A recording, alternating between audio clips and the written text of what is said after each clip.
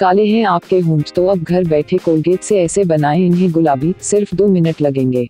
होंठों पर ध्यान न देने केमिकल प्रोडक्ट्स का यूज़ करने या स्मोकिंग के कारण होंठों में कालापन आने लगता है। ऐसे में चेहरे की खूबसूरती में कमी आने लगती है। लेकिन इस प्रॉब्लम एक आसान तरीके से दूर कर सकते हैं। काल, होंठ भला किसे पसंद होंगे? लेकिन हमारी ही कुछ गलत आदतों की वजह से होंठों को उसका नुकसान भुगतना पड़ता है। खासकर महिलाएँ अपने होठों को खूबसूरत बनाने के लिए कई प्रकार के लिपस्टिक का प्रयोग करती हैं, जिसके कारण होठों की प्राकृतिक सुंदरता समाप्त हो जाती है और होंठ या तो काले पड़ने लगते हैं या फिर फट जाते हैं। यानी हम अपने होठों को सुंदर दिखाने के लिए जो प्रयोग करते हैं वास्तव में वे ही इनको नुकसान पहुँचाते हैं। आइए इसके बारे में विस्तार से बताते हैं।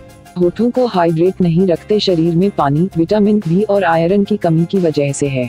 होठों की त्वचा बहुत नाजुक होती है, जिसे सूरज की किरण नष्ट कर देती है। अपने हेठों पर सनस्क्रीन लगाए और फिर धूप में निकलिए।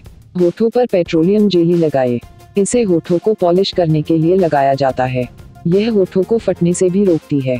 पानी पीने से शरीर के बाकी हिस्सों की तरह होंठ भी हाइड्रेटेड रहते हैं और फटने से भी बचते हैं।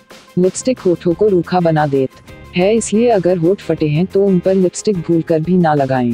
लिपा बाम, लिप ग्लास और लिपस्टिक में पड़े रसायन होठों को बहुत नुकसान पहुंचाते हैं। स्मोकिंग करने से होठ रूखे और काले हो जाते हैं। अगर आपको पिंक होठ चाहिए तो अभी से स्मोकिंग छोड़ दें।